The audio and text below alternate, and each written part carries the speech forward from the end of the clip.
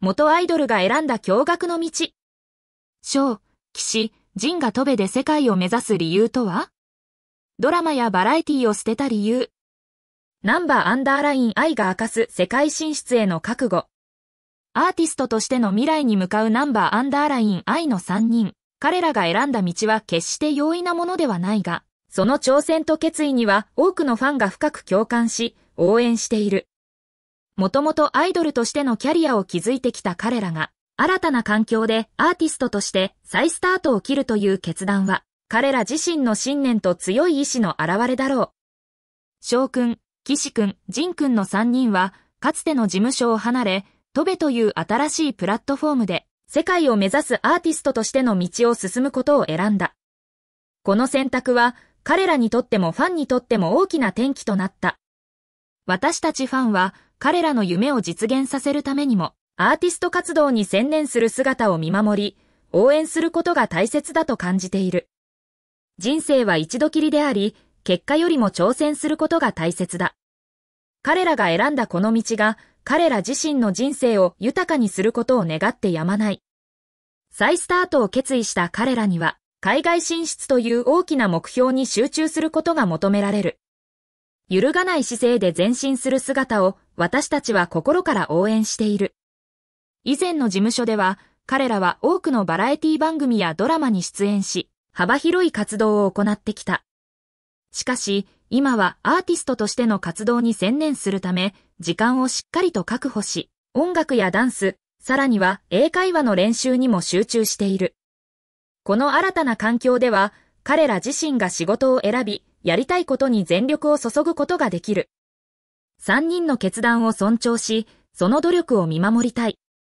私自身も彼らがバラエティ番組やドラマに出演する姿を見ることが好きだった。しかし、今は彼らのやりたいことを最優先に楽しんでもらうことが一番だと感じている。彼らが選んだ道を応援し、その成長を見守ることが、ファンとしての私たちの役割だろう。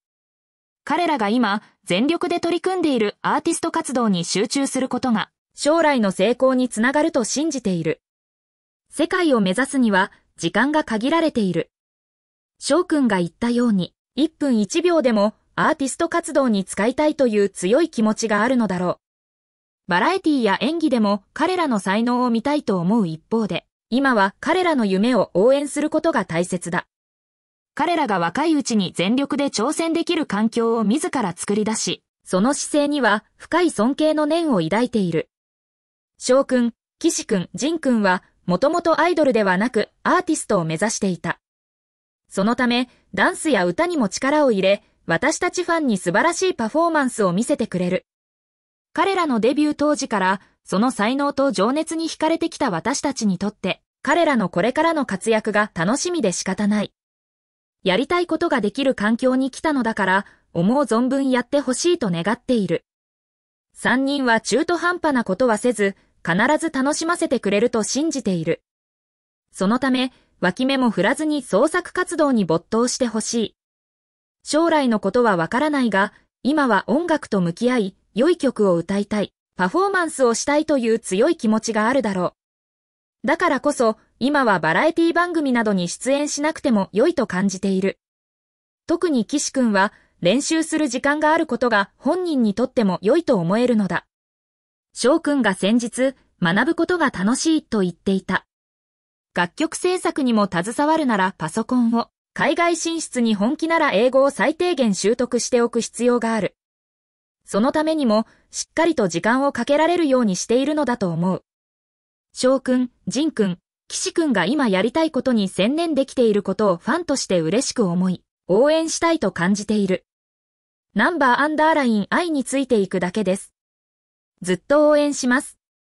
バラエティやドラマがなくても、音楽とダンスとライブがあれば全然良い。三人の好きなこと、やりたいことだけを追い求めて輝いていてほしい。今は世界に向けて音楽に絞って活動していることに賛成です。彼らが話しているように、ドラマだと朝から晩まで3から4ヶ月かかる。だからこそ音楽に集中するためには長時間拘束される仕事は避けるべきだ。ナンバーアンダーライン愛のファンになって、 Spotify や Stationhead、新しいものに触れる機会も増えて楽しい。3人がこだわって楽曲制作や活動をしているので応援あるのみだ。しかし、国内のコンサートだけは増やしてほしいというファンの声もある。3人がやりたいことを全力で応援します。彼らと同じくファンもぶれない。3人のドラマ、バラエティも大好きだったが、目標に向かって進むには時間がないのかもしれない。音楽に専念している分、ライブやフェスはたくさんやってくれるはず。すごく楽しみだ。芸能界に戻ってこないかも、テレビ番組に出られないかも、そんな辛い時期の自分を忘れてはいない。三人を思う気持ちもわかるが、三人を信じて自分ができることに全力を尽くしたい。今の生き生きとした表情を見ている限り、このまま走り続けるのが良いと思う。思うように頑張ってほしい。トベファンとして未熟ながら、ナンバーアンダーライン I の OK コンプレックスのオリジナル MV を作ってみた。YouTube に投稿してあります。トベファミリー全員を少しでも早く世界に行かせてあげたく、そのために貢献できればと思っている。今はトベで目指す道を貫いてほしい。三人が一番やりたいことをしてほしい。本人たちがドラマやバラエティもやりたいなら、それを選ぶと思うが、ナンバーアンダーライン I は本気で世界を目指しているし、滝沢社長も同じ思いだと感じている。全事務所を退所した1年前に今の活躍を想像すらできなかったことを思うと、3人の姿を見ることができて応援できる今に感謝しかない。個人的な意見としては、バラエティとドラマで見るよりも音楽が聴きたい。ドラマやバラエティはもう実績があるので、いつでもできると思う。バラエティやドラマで時間拘束されるなら、世界に向けて今しかやれないことをやってほしい。今日の神宮寺くんのインスタみたいに、しっかり休んでリフレッシュしながらパワーを貯めてほしい。もう疲れて作り笑いしている顔は見たくない。ドラマやバラエティでも彼らを見たい気持ちもあるが、今は MV などで楽しませてくれているし、アーティストとしての道を知っている。まだ1年も経っていない新人として、これからコツコツと積み重ねていってほしい。以前の事務所では、彼らは多くのバラエティや演技の仕事をしてきたし、認知も十分されている。だからこそ、今は音楽に集中したいというのが3人の共通の考えだ。世界に通用するためには全力で取り掛からなければならない。世界のアーティストた。地と競うためには、実力を身につけ、作品を作り続ける必要がある。アーティスト路線への全力投球は正解だと思う。BTS のメンバーがそろそろ次々と兵役から戻ってきて、また活動し始めるだろう。今この時期にナンバーアンダーライン I が作品を作り続けていくことが大事だ。それを全力で応援する。他のヒップホップグループやメンバーがバラエティやドラマに出ているか？彼らはアーティストであり、音楽だけで頑張っていく姿を応援したい。国内での人気はすでに十分ある。そんな時間を取られている暇はない。